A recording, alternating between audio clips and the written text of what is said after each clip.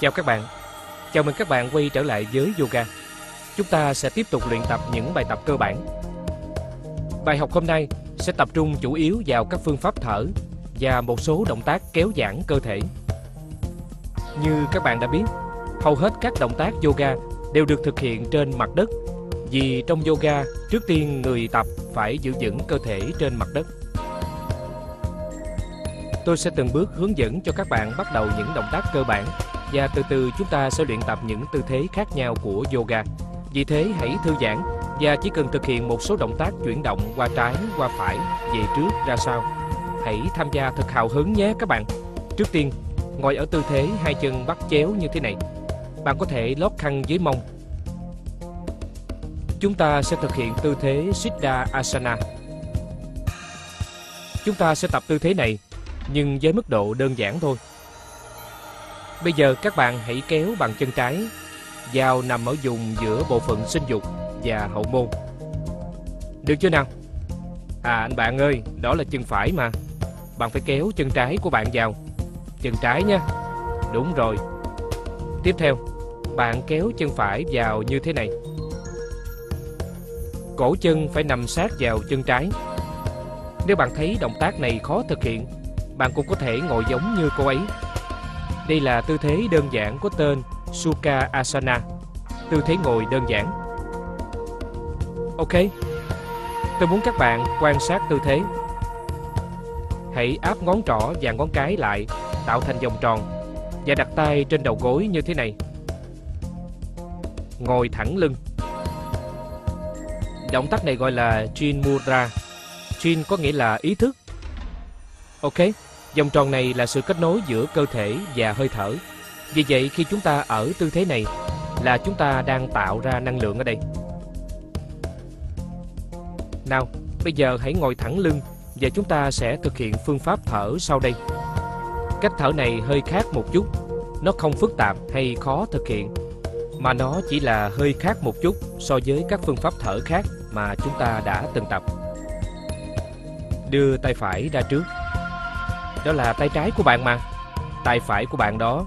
Đúng rồi, đưa tay phải ra trước nhé. Lần này chúng ta sẽ hít vào qua lỗ mũi trái Và thở ra qua lỗ mũi phải. Khi thở ra, bạn hãy thở ra thật mạnh Để tống các khí cặn, tạp chất ra ngoài. Chúng ta sẽ bắt đầu từ bên trái trước Nghĩa là hít vào bên trái Thở ra bên phải. Thực hiện động tác 5 lần Hít vào trái Thở ra phải hít vào trái, thở ra phải. Sau đó chúng ta đổi bên, hít vào từ lỗ mũi bên phải và thở ra từ lỗ mũi bên trái. Hít vào phải, thở ra trái. Thực hiện động tác này sẽ tạo sự cân bằng ở não bộ. Ok, chúng ta bắt đầu nào. Ngón trỏ bịt lỗ mũi phải từ bên ngoài như thế này. Không phải là ấn vào trong như thế này đâu nhé. Ok, đóng lỗ mũi phải lại và bắt đầu hít vào từ lỗ mũi trái. Nào hít vào. Sau đó thở ra thật mạnh bằng cách dùng các ngón tay còn lại và bịt lỗ mũi trái và thở ra từ lỗ mũi phải. Để tiếp tục nào, bịt bên phải và hít vào từ bên trái. Hít vào. Sau đó lại bịt lỗ mũi trái. Thở ra từ bên phải. Tiếp tục nào, hít vào. Thở ra từ bên phải, làm tốt lắm. Hít vào, thở ra từ bên phải. Lần cuối nào, hít vào từ bên trái, thở ra từ bên phải. Các bạn làm tốt lắm. Tiếp theo chúng ta sẽ thực hiện động tác đổi bên. Hít vào bên phải, thở ra bên trái. Lưu ý nhé các bạn. Hít vào phải, thở ra trái. Sẵn sàng nào, bịt lỗ mũi trái. Hít vào từ bên phải, thở ra bên trái. Hít vào phải, các bạn hãy hít thở sâu hơn nữa. Thở ra trái, tốt. Nào hít vào, phải, thở ra, trái. Tốt, hít vào, phải, thở ra, trái. Hít vào, phải, thở ra, trái. Lần cuối cùng, hít vào, phải, thở ra, trái. Từ từ đưa tay trở về và mở mắt ra. Các bạn hãy thực hiện động tác thở này thêm một lượt nữa. Một số bạn có thể chưa thành thạo lắm vì trước đây các bạn chưa từng thực hiện phép hít thở này. Nhưng đây là một phép luyện thở khác gọi là Ida và Pingla. là mặt trăng và mặt trời, năng lượng âm và năng lượng dương. Động tác này sẽ giúp giải tỏa năng lượng đang bị khóa lại, đồng thời cân bằng năng lượng cơ thể. Lỗ mũi phải và trái hoạt động mạnh hơn và cân bằng với nhau. Chúng ta bắt đầu lại nhé. Những bạn nào chưa hiểu thì trước tiên hãy quan sát tôi và sau đó mới làm theo. Các bạn sẵn sàng chưa? Các bạn lưu ý khi tôi chuyển động tay như thế này, nghĩa là hít vào qua lỗ mũi trái. Và như thế này nghĩa là thở ra qua lỗ mũi phải. Rõ chưa các bạn? Nếu tay tôi đưa lên như thế này, nghĩa là hít vào bên phải và thở ra bên trái. Được rồi, bây giờ hãy làm theo tôi nhé. Ngồi thẳng lưng. Đưa tay phải ra trước và bịt lỗ mũi phải lại. Đúng rồi. Nào hít vào trái. Thở ra phải. Đúng rồi, bên này là hít vào, nghĩa là bạn hít vào từ lỗ mũi trái, sau đó bịt lỗ mũi trái, thở ra phải. Chắc các bạn đều rõ cả rồi phải không nào?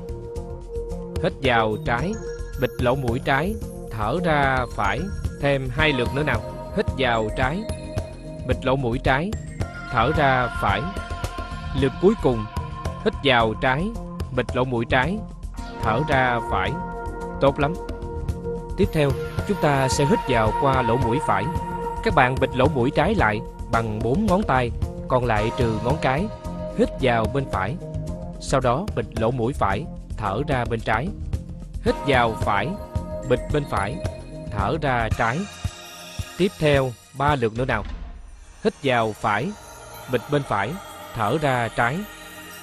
Còn hai lượt. Hít vào phải, bịch bên phải, thở ra trái. Lượt cuối cùng, hít vào phải, bịch bên phải, thở ra trái. Các bạn làm tốt lắm. Bây giờ đưa tay trở về tư thế ban đầu. Tập trung tâm trí vào hơi thở. Đặt tay lên bụng như thế này. Nhắm mắt và hãy cảm nhận sự chuyển động của hơi thở. Hít vào thành bụng sẽ phình ra và thở ra. Bụng sẽ thốt lại. Tốt lắm, thêm 3 nhịp thở nữa. 2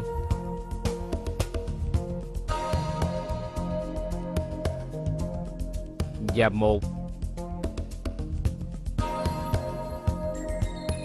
Rồi từ từ mở mắt ra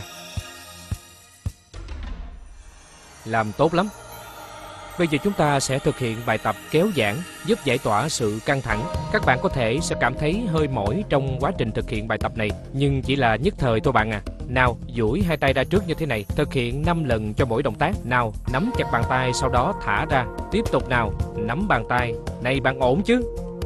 Tốt, và thả ra, còn hai lượt nữa. Nắm bàn tay và thở ra. Nắm chặt tay hơn nữa và thả ra. Nào, Tay vẫn nắm chặt như thế này nhé bạn. Chúng ta chuyển sang động tác tiếp theo. Tôi biết là một số bạn đang rất mỏi tay Nhưng tôi muốn các bạn cố gắng giữ nguyên ở tư thế này. Giữ nguyên tư thế là nguyên tắc rất quan trọng Nó giúp cho xương chúng ta mạnh hơn. Các bạn biết không? Rất nhiều người khỏe mạnh Nhưng không phải ai cũng giữ được ở tư thế này. Chỉ có những người tập yoga mới có thể giữ vững ở tư thế này. Nào bây giờ các bạn đưa nhấc tay lên. Xuống như thế này. Mary, bạn có thấy như vậy không? Tốt lắm. Nhấc lên. Tốt, tiếp tục, đưa xuống, nhấc lên. Các khớp ở tay sẽ khỏe hơn, lực cuối cùng nào, nhấc lên và trở về. Bây giờ đưa hai tay lên da như thế này, khuỷu tay duỗi thẳng. Tiếp theo duỗi thẳng hai tay ra, rồi lại từ từ đưa hai tay lên vai và duỗi thẳng hai tay ra trước. Chúng ta còn ba lượt nữa. Từ từ đưa tay lên vai và thở ra. Còn hai lượt. Từ từ đưa lên vai và thở ra. Lượt cuối cùng đưa lên vai. Thở ra. Tốt lắm. Và trở về. Bạn cảm thấy vai của mình như thế nào? Đang nóng lên đúng không nào? Bạn cảm nhận được hơi nóng ở đây. Hơi nóng này giúp cho khớp vai khỏe hơn. Nếu như khớp vai lạnh cứng thì sẽ không tốt. Nó cần phải được làm nóng lên. Chúng ta tiếp tục nào. Lần này hai tay đặt trên vai như thế này và mở rộng vai ra. Tiếp đến bạn đẩy hai khuỷu tay vào trong chạm nhau, sau đó lại mở ra như ban đầu. Mở rộng ngực ra, hít vào, đẩy khuỷu tay ra trước, thở ra, mở rộng ngực. Tốt lắm, thở ra.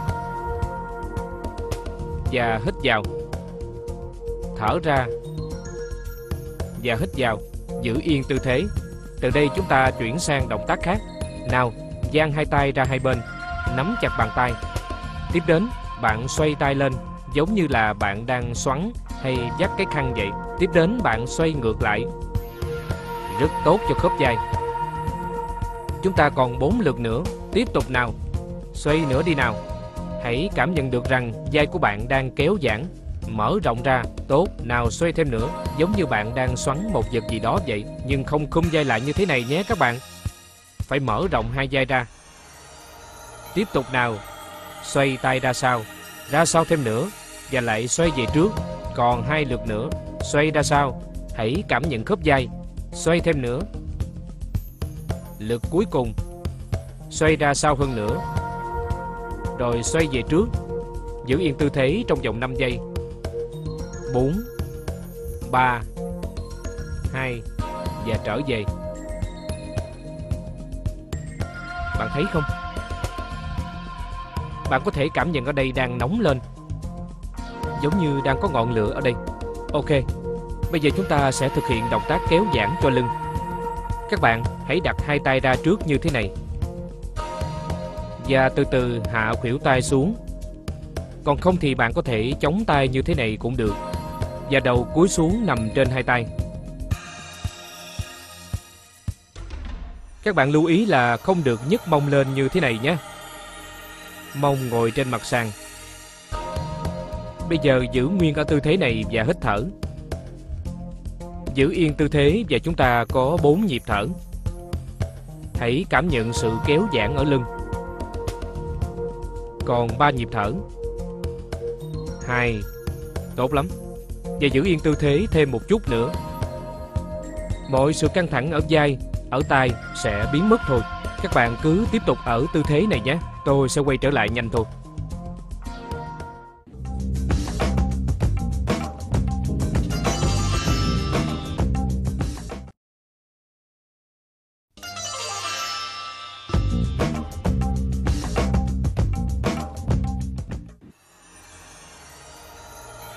Xin chào. Các bạn hãy ngồi dậy nào. Các bạn có thích thú khi thư giãn ở tư thế này không? Đối với những bạn vẫn chưa quen với động tác này Tôi chắc rằng khi đã thành thạo rồi bạn sẽ rất thích Và có khi còn rơi vào giấc ngủ khi ở tư thế này luôn đó Ok, nào từ từ trở về và ngồi thẳng lưng Quay sang hướng này và ngồi xuống Hai chân duỗi thẳng Chúng ta sẽ thực hiện tư thế Buna Manasana. Bu theo tiếng Phạn có nghĩa là quả đất. Namana nghĩa là hướng về. Trái đất là môi trường sống của con người. Vì vậy điều mà yoga hướng đến đó là trở về với tự nhiên. Ok, bây giờ các bạn ngồi thẳng lưng. Hai tay đặt trên đầu gối như thế này. Từ từ xoay người qua phải và ra phía sau. Không phải dừng lại ở đây mà trán phải chạm mặt sàn. Sau đó từ từ xoay người trở về, hít vào, hai tay đặt trên đầu gối. Bây giờ chúng ta đổi bên, xoay sang trái và hạ người xuống, tốt lắm. Từ từ xoay người trở về. Ngồi lưng thật thẳng, giúp cho cột sống được kéo dài ra. Chúng ta tiếp tục chuyển sang bên phải. Từ từ trở về và chuyển sang bên trái. Các bạn làm rất tốt. Bạn thấy không? Và từ từ trở về. Các bạn làm rất tốt, chỉ cần thực hiện từ 3 đến 5 lượt. Nhưng bạn nào đang bị nhức mỏi lưng thì có thể thực hiện động tác nhanh hơn một chút, vì các bạn sẽ phải làm tới 100 lần đó. Ok, 100 lần thì quá tốt để giải tỏa hết chứng nhức mỏi cột sống. Tiếp theo, chúng ta sẽ thực hiện tư thế Pachimottanasana. Hai chân duỗi thẳng đặt sát nhau. Bạn có thể đặt một cái khăn dưới mông và ngồi thật ngay ngắn. Và nếu bạn nào đang bị đau lưng thì tôi đề nghị các bạn không ngồi ở tư thế duỗi thẳng hai chân mà hãy hơi cong gối lại như thế này để thực hiện tư thế. Ok, các bạn có thể hơi cong chân như cô ấy đang làm. Và sau đó nắm lấy hai chân như thế này. Tốt rồi.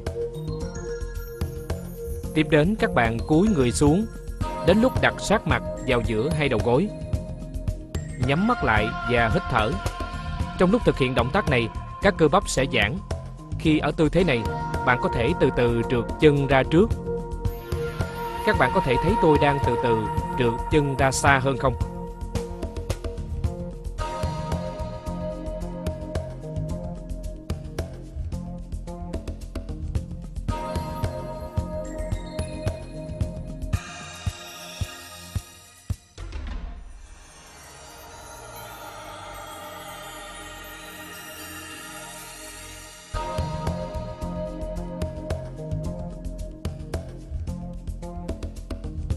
Từ từ ngẩng đầu dậy và trở về tư thế ban đầu. Bây giờ tôi muốn các bạn cong đầu gối lại như thế này. Ngửa người về sau bằng cách hai tay giữ chặt đùi từ bên dưới đầu gối. Ngã người ra sau một chút, sau đó nâng chân lên và duỗi thẳng. Cố gắng giữ cho lưng thật thẳng. Các bạn hãy giữ yên tư thế, tốt lắm. Nếu bạn nào thấy khó quá thì có thể đặt khăn dưới mông và điều quan trọng là các bạn phải kéo thẳng lưng. Và bạn có thể hơi cong đầu gối lại cũng được. Bây giờ từ từ trở về tư thế ban đầu. Hạ chân xuống, co đầu gối. Các bạn đang có vấn đề ở lưng Nên co đầu gối lại. Tay nắm lấy bàn chân. Đặt sát mặt vào giữa hai đầu gối. Và tôi muốn các bạn từ từ trượt chân về trước như thế này nhưng không di chuyển đầu ra khỏi hai đầu gối. Cứ giữ yên, hai tay nắm bàn chân và từ từ trượt chân về trước. Đó là cách bạn luyện tập để hoàn chỉnh tư thế này. Ok, chúng ta làm lại một lần nữa. Bây giờ ngẩng đầu lên và trở về tư thế ban đầu. Tốt lắm. Nào, cong gối, hai tay nắm lấy đùi từ bên dưới, ngã người ra sau và kéo lưng thật thẳng. Nếu lỡ mà bạn có ngã người xuống sàn nhà thì hãy tiếp tục tập lại tư thế này bởi vì tôi biết có nhiều bạn sẽ ngã xuống sàn. Đừng lo lắng nhé bạn. Cứ ngồi dậy và tập lại tư thế. Ok, giữ yên tư thế trong 10 giây. 9 8 7 6 5 4 Cố gắng kéo thẳng lưng thêm một chút nữa nào. Đúng rồi 2 Và co gối lại. Sau đó trở về tư thế ban đầu. Sau đó cúi người về trước. Đối với các bạn đang bị đau lưng mà mới tập lần đầu tiên, các bạn hãy làm theo như cô ấy. Tốt lắm, giữ yên tư thế, hít thở thật sâu. Cảm nhận hơi thở đi nào. Tư thế này giúp xoa bóp ruột non và ruột già, kéo giãn gân kheo, kéo dài cột sống. Các bạn thấy đấy, rất nhiều công dụng chứ không chỉ là tác dụng kéo giãn đâu. Đúng không các bạn? Nào, chúng ta còn hai nhịp thở nữa. Tốt, từ từ ngẩng đầu lên. Và từ từ trở về tư thế ban đầu. Thư giãn trong vài giây, chống hai tay ra sau, duỗi chân ra và thư giãn. Rất tốt. Khi tôi muốn các bạn tập trung tâm trí vào một tâm điểm, nghĩa là tập trung hít thở, hãy tập trung tâm trí vào hơi thở. Thành bụng sẽ chuyển động lên xuống. Nào, từ từ ngẩng đầu lên. Bây giờ chúng ta sẽ thực hiện một động tác biến thể khác. Các bạn gập đầu gối trái lại. Chống hai tay ra sau xa hơn một chút, không quá gần với hông. Các ngón tay hướng về trước. Tiếp theo tôi muốn các bạn tập trung sức mạnh và nâng mông lên khỏi mặt sàn. Như thế này các bạn thấy không? Chân phải duỗi thẳng. Bàn chân áp sát mặt sàn. Quá dễ dàng, chắc chắn là các bạn đều làm được. Nào, bây giờ từ từ hạ xuống, đưa đầu về. Dễ hay khó bạn? À, rất dễ, tốt lắm. Nào, lặp lại động tác, từ từ nhấc mông lên. Các bạn chú ý phần khung xương chậu. Chúng ta đẩy khung xương chậu lên. Và từ từ hạ xuống và trở về. Các bạn làm tốt lắm. Nào, chúng ta thực hiện thêm hai lượt nữa. Từ từ nhấc mông lên. Và hãy cảm nhận sự kéo căng đang diễn ra. Các bạn chú ý là ngón cái chân phải áp sát mặt sàn. Bây giờ từ từ hạ xuống và trở về. Lượt cuối cùng nhé các bạn. Từ từ nhấc mông lên. Cao hơn nữa đi nào. Giữ yên tư thế ở đây và thư giãn. ưỡn ngực ra nữa. Giữ yên tư thế, bàn chân áp sát mặt sàn. Nếu như các bạn thấy khó quá thì có thể gập chân lại như thế này, rất đơn giản. Nào chúng ta còn 5 giây. 4 3 Nâng người lên một chút nữa nào và trở về. Các bạn làm tốt lắm. Đây là cách chúng ta luyện tập cho cơ thể. Đừng lặp lại những gì đã làm hôm qua, mà hãy làm tốt hơn ngày hôm qua. Đồng ý chứ?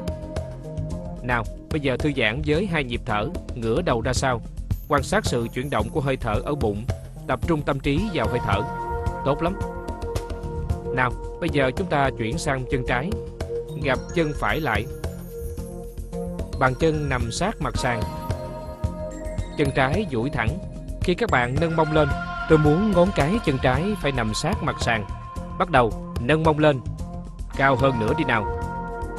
Các bạn lưu ý khoảng cách của hai tay không được quá gần hông. Tốt lắm. Và từ từ hạ xuống. Tiếp tục nào. Hít vào, đồng thời nâng người lên. Tốt lắm. Cao hơn nữa nào. Tuyệt. Và từ từ hạ xuống. Các bạn thấy đấy, nếu ta đặt hai tay gần với hông, các bạn sẽ không thể nâng người lên cao được. Vì vậy tôi muốn các bạn đặt hai tay ra xa như thế này. Nào, nâng người lên, cao hơn nữa, tốt, cao hơn chút nữa và từ từ hạ xuống. Chúng ta còn hai lượt nữa. Làm nữa được không bạn? Tất nhiên là được rồi. Nâng cao hơn nữa, lên nữa đi bạn. Thả lỏng đầu ra sau. Không kéo căng cổ và trở về. Còn một lượt nữa và giữ yên tư thế trong 5 phút. Từ từ nâng người lên. Giữ yên tư thế, ngón chân cái chạm mặt sàn, mở rộng vai hơn nữa. nhấc mông cao hơn nữa nào. Cao hơn chút nữa. nhấc mông cao hơn nữa nào. Đúng rồi. 4 giây 3 giây 2 Nâng người cao hơn nữa Và trở về Tốt lắm duỗi chân ra Ngã đầu ra sau Nhắm mắt lại Thư giãn Bây giờ bạn cảm thấy thế nào? Tốt chứ Mary? Dân rất tuyệt Tốt lắm Còn các bạn thì sao? Tôi chắc chắn là các bạn cũng rất hào hứng luyện tập và khám phá yoga Tốt lắm, bây giờ ngẩng đầu lên và trở về. Tiếp theo, các bạn chuyển sang tư thế ngồi trên đùi như thế này. Ngồi thẳng lưng. Các bạn duỗi thẳng lưng ra. Đây là tư thế ngồi kim cương.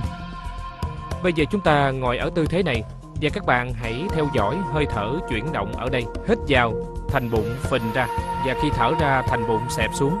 Tốt lắm, hãy nhắm mắt lại và hít thở ba nhịp.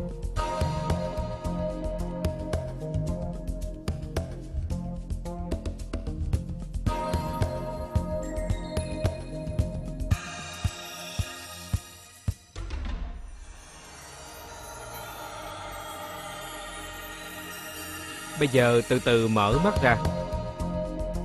Tốt lắm. Tiếp theo, chúng ta sẽ thực hiện bài tập mở rộng vai. Rất nhiều người trong chúng ta thường bị nhức mỏi ở vai. Điều này không tốt một chút nào. Yoga sẽ giúp chúng ta xóa tan mọi sự nhức mỏi, căng cứng. Các bạn từ từ chống hai tay trên mặt sàn. Hai đầu gối đặt cách xa nhau một chút. Nào, tiếp theo các bạn lần lượt chống hai khuỷu tay trên mặt sàn như thế này. Sau đó, vòng tay ôm lấy bắp tay. Ok, không đặt quá gần như thế này. Các bạn di chuyển khuỷu tay ra xa một chút. Các bạn điều chỉnh sao cho cơ thể ở tư thế ngay ngắn. Sau đó từ từ cúi người xuống. Trán nằm ngay ngắn trên hai tay. Cầm chạm sàn nhà. Sau đó từ từ hít vào, đồng thời nâng người lên. Tốt lắm. Giữ yên tư thế. Các bạn thấy đó, tư thế này giúp mở rộng hai vai. Chúng ta lặp lại động tác thêm vài lần nữa. Bắt đầu nào, hít vào, giữ yên tư thế và hít thở sau đó từ từ nâng người lên và trở về. Tốt lắm. Tiếp tục nào. Từ từ cúi người xuống, giữ cho mông hướng lên cao. Tôi muốn các bạn tiếp tục thực hiện động tác này, có tác dụng rất tốt. Tiếp tục nào, từ từ nâng người lên và trở về.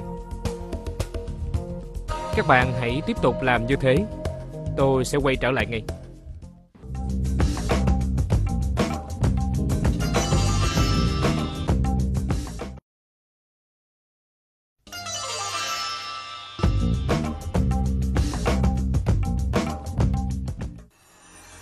Các bạn có cảm nhận được hai vai đang mở rộng ra không?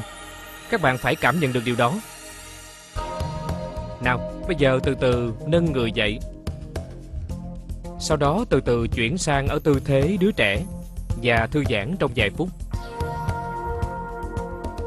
Hãy ở tư thế đứa trẻ và để cho hai vai thả lỏng, thư giãn và hít thở thêm một nhịp nữa. Tốt lắm. Bây giờ các bạn đã sẵn sàng để chuyển sang bài tập tiếp theo. Nào, bây giờ trở lại tư thế quỳ trên gối và hai tay như thế này. Tiếp theo, các bạn duỗi thẳng chân phải ra phía sau, đầu quay ra sau và mắt nhìn bàn chân phải.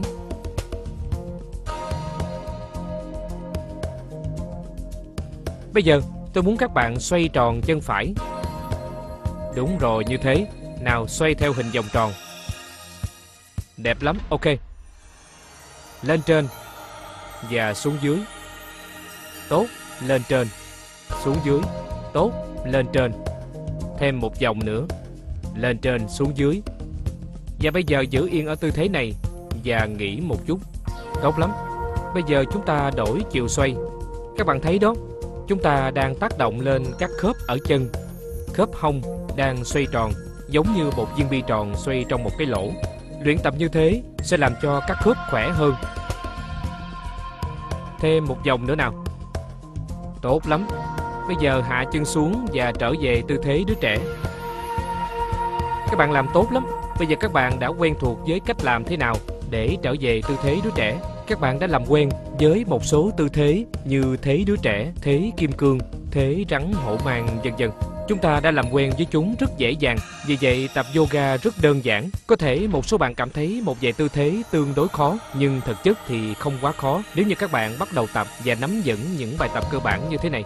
Từ từ trở về tư thế ban đầu đi các bạn. Trước tiên, duỗi thẳng chân trái ra sau. Mắt nhìn thấy bàn chân. Bây giờ xoay chân trái ra ngoài, rồi vào trong. Ra ngoài, vào trong các bạn thấy không, xoay chân trái ra ngoài rồi vào trong. Đặc biệt lưu ý, chúng ta tập trung sức mạnh ở phần khớp hông này. Chúng ta tác động lên khớp hông. Ok, thêm một vòng nữa. Dừng lại. Hạ chân xuống và nghỉ một lát. Bây giờ chúng ta đổi chiều xoay. Xoay từ bên trong rồi ra ngoài. Tiếp tục đi nào. Thêm 4 vòng nữa. Tốt lắm. 3. Tốt lắm. 2. Đẹp lắm và hạ chân xuống, trở về tư thế đứa trẻ. Thư giãn. Các bạn thấy đó, chỉ một vài động tác như thế là đủ rồi. Có tác dụng tốt lên phần khớp hông ở đây, giúp chúng khỏe hơn và các bạn sẽ có một cái hông rất khỏe.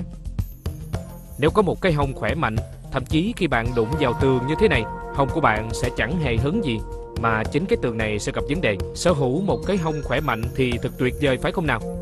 Bây giờ từ từ ngồi dậy chuyển sang ở tư thế nằm ngửa trên sàn và chúng ta chuyển sang các bài tập tiếp theo.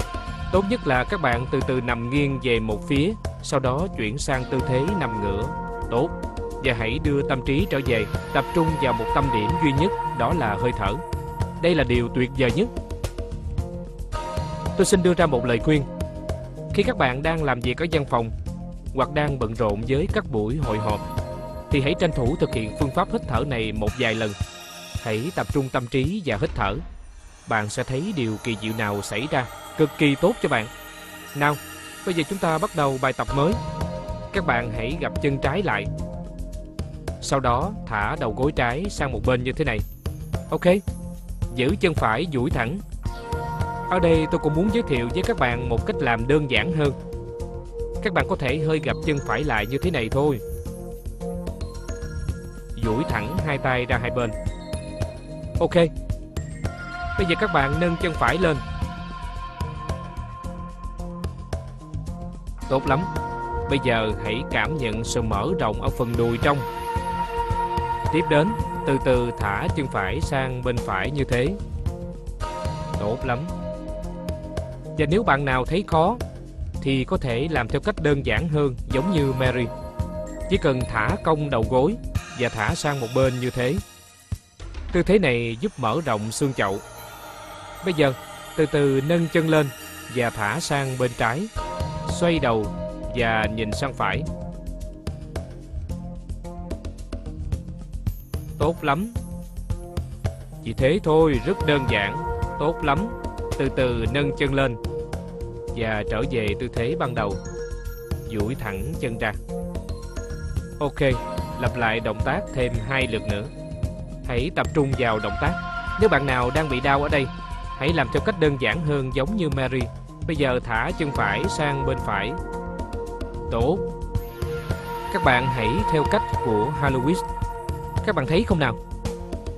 Nào, từ từ nâng chân lên. Tốt. Và thả chân sang bên trái. Mắt nhìn sang phải. Xong rồi đó. Tốt lắm, bây giờ từ từ nhấc chân lên và trở về tư thế ban đầu. Ở lượt cuối cùng này, các bạn hãy kết hợp hít thở, kết hợp hơi thở với động tác. Tổ, nào hít vào. Thở ra, đồng thời thả chân phải sang một bên. Hít vào. Sau đó thở ra, đồng thời thả chân phải sang bên trái, xoay đầu và mắt nhìn sang phải, cổ của bạn cũng đang được tác động lên. Tiếp tục hít vào, sau đó thở ra, đồng thời trở về. duỗi thẳng chân, thư giãn trong vài giây. duỗi thẳng chân tay. Hít thở hai nhịp. Tập trung hít thở, đưa tâm trí trở về. Hít thở vào, thành bụng phình ra. Khi thở ra, thành bụng xẹp xuống. Các bạn có thể nhận thấy rằng khi mới bắt đầu tập yoga, bạn phải tập trung vào cử chỉ, động tác như cách thở, cách chuyển động. Nó giống như là việc bạn học lái xe vậy. Đầu tiên bạn phải tập trung cao độ để học cách sang số, cách điều chỉnh bánh lái, cách sử dụng bộ ly hợp, bộ thắng. Nhưng một khi bạn đã làm chủ tay lái rồi, thì bạn không cần phải nhìn chằm chằm vào các bộ phận điều khiển, mà vẫn lái xe dễ dàng. Và thậm chí là chạy xe còn nhanh hơn trước. Trong yoga cũng vậy. Dần dần, bạn sẽ tự động lấy được sự cân bằng và hòa hợp giữa thể xác và tinh thần. Nhưng trước tiên, chúng ta phải nỗ lực tập trung luyện tập cách hít thở, cách thực hiện động tác và đến một lúc nào đó, các bạn sẽ tự động tuôn trào. Tiếp theo, chúng ta sẽ đổi sang chân trái, gập chân phải lại và thả sang phải. Nếu bạn nào muốn làm theo cách dễ dàng hơn thì hãy làm theo Mary, hơi cong chân trái. Nào, hít vào, đồng thời nâng chân trái lên sau đó thở ra, đồng thời thả chân trái sang một bên như thế. Tốt, tốt lắm. Tập trung vào phần đùi trong. Bây giờ hít vào, đồng thời nâng chân trái lên. Tốt lắm. Sau đó tiếp tục thả chân trái sang phải. Mắt nhìn sang bên trái. Đúng rồi, tiếp tục hít vào, đồng thời nâng chân trái lên. Và trở về tư thế ban đầu. Các bạn thấy thế nào? Ok, chúng ta lặp lại thêm hai lượt nữa. Nào, Hít vào, đồng thời từ từ nâng chân trái lên. Thở ra, đồng thời thả chân sang trái. Tốt lắm. Nếu chân phải không nằm sát mặt sàn như thế này cũng không sao cả. Một ngày nào đó bạn sẽ làm được thôi. Tiếp tục hít vào. Làm tốt lắm.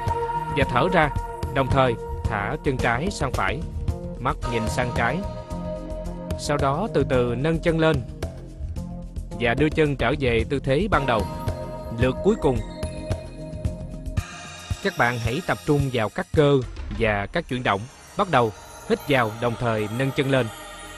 Thở ra, đồng thời thả chân sang trái. Làm tốt lắm. Hít vào đồng thời nâng chân lên, thở ra đồng thời thả chân sang phải, mắt nhìn sang trái. Tốt. Các bạn thấy đấy, chúng ta đang luyện tập cho phần eo. Tiếp tục hít vào, đồng thời nâng chân lên và từ từ đưa chân trở về. Thư giãn đi các bạn. duỗi thẳng chân tay, nhắm mắt lại và hít thở sâu. Đưa tâm trí trở về, tập trung vào hơi thở. Càng đạt đến trạng thái cân bằng, hòa hợp, bạn càng khỏe mạnh về cả thể chất và tinh thần. Ok. Từ từ mở mắt ra, chúng ta chuyển sang thế cây cầu, gập đầu gối, hai bàn chân áp sát mặt sàn. Tiếp theo, từ từ nhấc mông lên cao, và lần lượt chống hai tay đỡ phần hông. Bạn có thấy cách cô ấy làm không? Nếu các bạn lỡ chống khuỷu tay quá xa, hãy từ từ nhích dần khuỷu tay vào trong như thế này. Giữ yên tư thế Các bạn lưu ý ưỡn ngực về phía cầm. Và bây giờ tôi muốn các bạn nhắm mắt lại và kéo căng mông ra. Kéo căng hơn nữa. Nhưng không được nín thở. Các bạn vẫn phải hít thở thật đều và sâu. Tốt, các bạn thấy không? Chúng ta đang học thế khóa. Trong yoga có rất nhiều tư thế khóa rất công dụng. Đặc biệt là nó đánh thức nguồn năng lượng tiềm tàng trong cơ thể. Và một trong những thế khóa đó có tên là Mula Bandha. Theo tiếng Phạn, Mula có nghĩa là gốc rễ, là nền tảng, Bandha nghĩa là khóa. Tôi sẽ trở lại đề tài này chi tiết hơn trong những bài học sau này. Bây giờ, tôi muốn các bạn hãy tập trung kéo căng cơ mông hơn nữa. Giữ nguyên như thế, hít thở sâu. Tốt lắm. Tiếp theo chúng ta thực hiện một động tác biến thể ở đây. Nhắm mắt lại. Bây giờ, tôi muốn các bạn duỗi thẳng chân trái ra. Các bạn có thấy không? Động tác này giúp kéo dài cột sống ra. Kéo giãn cột sống, chứ không co lại. Ok. Giữ yên ở tư thế này trong 10 giây. 9 8 7 6 Các bạn thấy không? Hình dáng chúng ta đang giống như cây cầu vậy Tốt lắm Bây giờ, đưa chân trái trở về Tiếp tục thực hiện tương tự cho chân phải. Từ từ trượt chân phải, Kéo thẳng ra, Kéo dài cơ thể ra, Giữ yên tư thế. Các bạn kéo thẳng lưng nhé, Kéo giãn cột sống, Giữ yên tư thế trong 10 giây. 9 8 7 Tốt lắm. 6 5 4 3 2 Và từ từ đưa chân trở về. Sau đó từ từ hạ người xuống và trở về tư thế ban đầu. Nằm trên mặt sàn, Cầm nằm ngay ngắn, duỗi thẳng chân, nằm trên mặt sàn. Và giữ nguyên ở tư thế này, Tập trung tâm trí vào hơi thở Và trải nghiệm sức mạnh kỳ diệu của yoga. Tôi sẽ quay trở lại sau ít phút.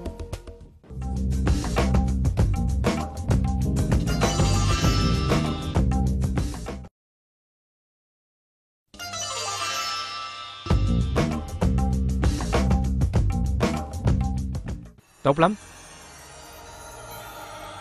Xin chào. Từ từ mở mắt ra đi các bạn.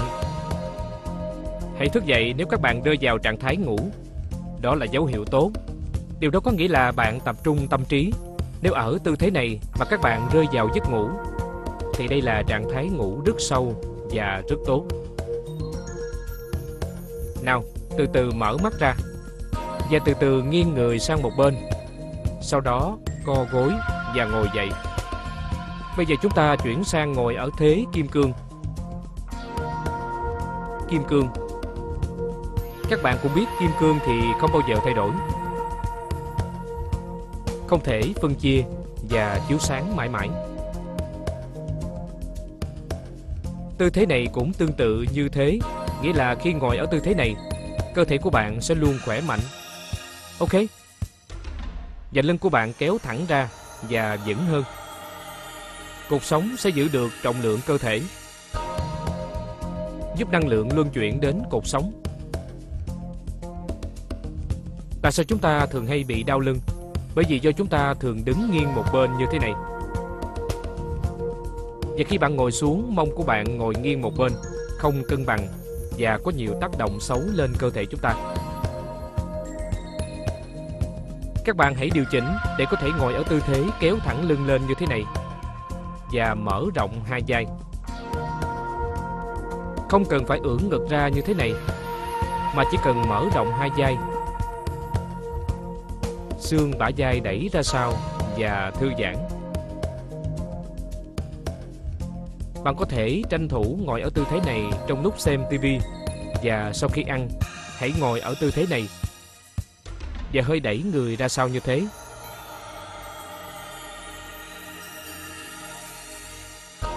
Sau đó đẩy người về trước.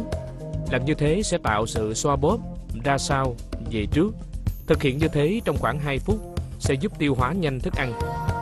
Nếu làm như thế này trong 2 phút, thức ăn sẽ được tiêu hóa nhanh hơn. bạn có thể nghe tiếng kêu rò tắt. Do động tác này khơi dậy nguồn năng lượng ở đây.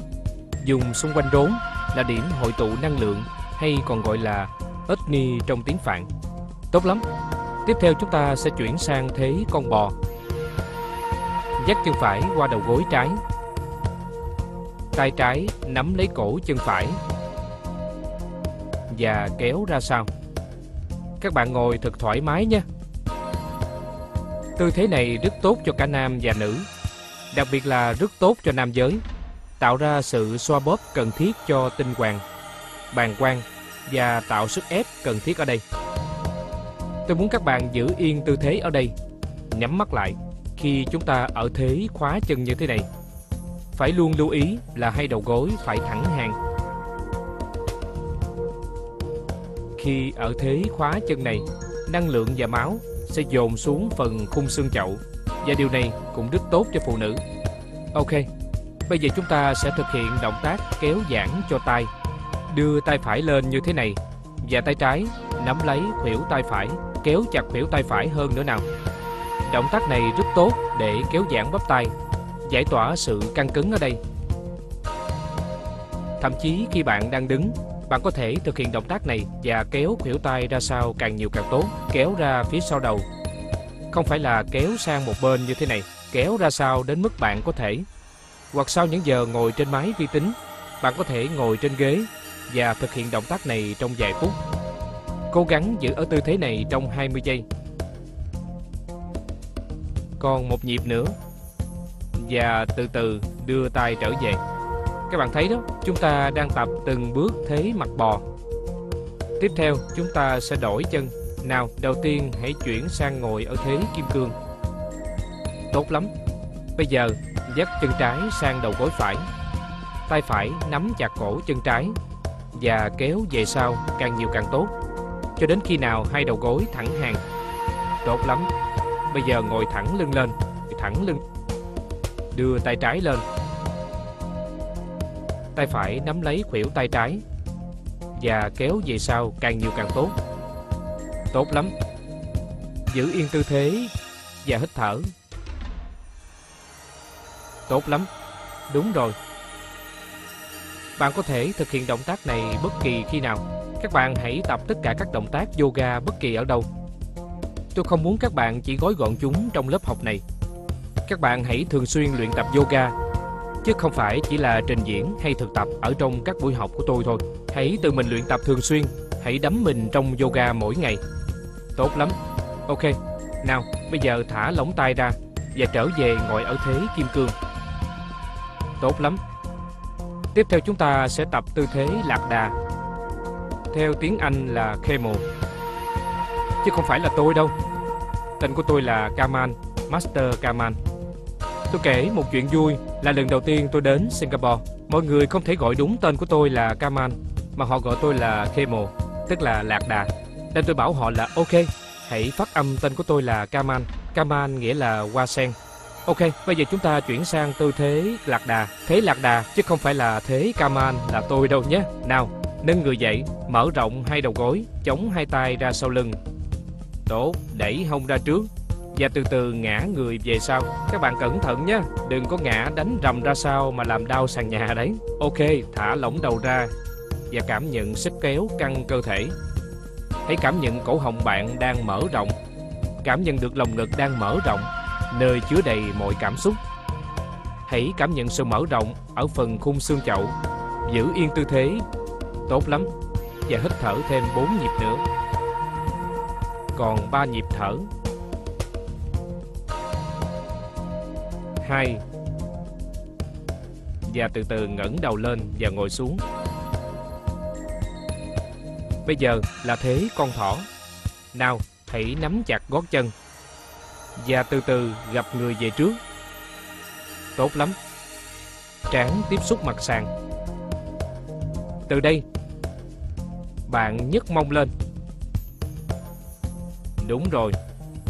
Động tác này có tác dụng làm cho khuôn mặt của bạn hồng hào như trăng rằm vậy. Bởi vì máu sẽ dồn xuống mặt khi ở động tác này. Bây giờ chúng ta đang ở một thế khóa và năng lượng di chuyển xuống tới cổ, Và bạn khóa nó ở đó. Bây giờ chuyển sang thế đứa trẻ. Đúng rồi. Chuyển sang thế đứa trẻ Và hít thở. Còn một nhịp thở nữa. Tốt lắm. Bây giờ từ từ ngồi thẳng lưng. Tiếp theo, Tôi muốn các bạn ở tư thế nằm ngửa. Hai chân duỗi thẳng. Tốt lắm. Tôi sẽ hướng dẫn các bạn cách thư giãn khi ở tư thế nằm. Nhiều người cứ tưởng là họ biết ngủ đúng cách. Nhưng thật ra phần lớn thời gian trong giấc ngủ các bạn thường chìm trong những suy nghĩ, lo âu, mộng mị. Yoga sẽ chỉ cho bạn cách để đạt đến một giấc ngủ tốt. Có người ngủ từ 8 đến 12 tiếng đồng hồ. Nhưng khi thức dậy thì họ lại cảm thấy rất mệt mỏi, không một chút sinh lực. Tại sao lại như thế? Bởi vì thực chất là họ không ngủ. Điều quan trọng không phải là về mặt số lượng, bao nhiêu lần, bao nhiêu lâu mà là chất lượng. Chất lượng giấc ngủ mới là điều quan trọng. Yoga sẽ giúp bạn đạt được một giấc ngủ chất lượng. Trước tiên, chúng ta sẽ thực hiện động tác kéo giãn để giải tỏa sự căng thẳng Động tác này bạn có thể thực hiện trên giường trước khi đi ngủ. Tốt lắm. Nào, hai tay ôm lấy đầu gối phải. Giữ như thế. Đấy, các bạn có thể làm như thế ở trên giường. Một số bạn chỉ có thể giữ đầu gối ở mức này thôi. Không sao cả, đừng lo lắng. Sự lo lắng sẽ chẳng bao giờ giúp chúng ta làm tốt hơn. Nếu gặp vấn đề mà bạn có thể giải quyết được thì đừng nên lo lắng. Và ngay cả khi gặp vấn đề mà chưa giải quyết được, bạn cũng đừng nên lo lắng. Ok, nào bây giờ tay trái kéo đầu gối phải sang trái. Mắt nhìn sang phải. Tốt, lưu ý điều chỉnh kéo dây phải xuống gần mặt sàn. Tay trái ép đầu gối phải xuống sàn. Một số bạn chỉ có thể ở mức này thôi. Và không thể kéo xuống hơn nữa. Không sao cả đâu bạn. Tay trái ép đầu gối phải xuống sàn Tốt lắm Thêm một nhịp thở nữa Hãy cảm nhận hơi thở ở bụng Tốt lắm Từ từ đưa đầu gối phải về Tay ôm đầu gối sau đó duỗi chân xuống sàn. Bây giờ hãy đổi sang chân trái. Hai tay ôm đầu gối trái Kéo về sau. Tay phải kéo đầu gối qua phải. Tay trái duỗi ngang sang trái. Đúng rồi, làm tốt lắm. Chúng ta có hai nhịp thở. Tốt. Và từ từ trở về tư thế ban đầu Bằng cách kéo đầu gối trái về Và duỗi thẳng trên sàn. Hãy điều chỉnh mông Sao cho bạn nằm ở tư thế thật thoải mái Thư giãn. Hơi dang hai tay ra một chút. Tốt. Lưu ý là bàn chân không chỉ vào trong như thế này. Nếu không nó sẽ tạo sức căng ở đây. Hãy thả lỏng chân như thế này Điều chỉnh cột sống kéo giãn ra Và nằm ngay ngắn.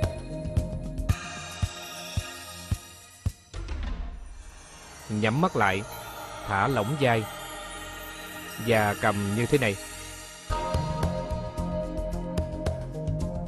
Tôi muốn các bạn kéo dài cổ ra, thả lỏng vai. Tốt. Nhắm mắt lại, thả lỏng cơ thể. Bây giờ hãy làm theo lời tôi nói. Bạn có thể nghĩ trong đầu theo tôi. Không cần phải nói ra với bạn. Và cảm nhận điều kỳ diệu nào diễn ra với bạn hãy làm theo lời tôi nói Tôi Thả lỏng mặt nói nhẩm trong đầu thôi. Tôi đang thả lỏng hai tay. Đây là một kỹ thuật thư giãn cơ bản và đơn giản nhất. Và tôi đang thả lỏng hai chân. Tôi thư giãn cùng hơi thở. Hãy cảm nhận sự chuyển động của hơi thở từ mũi xuống phần rốn và ngược lại từ rốn lên mũi. Chậm chậm và rất sâu. Khi hít vào, thành bụng phình lên và thở ra, thành bụng xẹp xuống. Cứ tiếp tục như thế càng lâu càng tốt. Chào tạm biệt và hẹn gặp lại.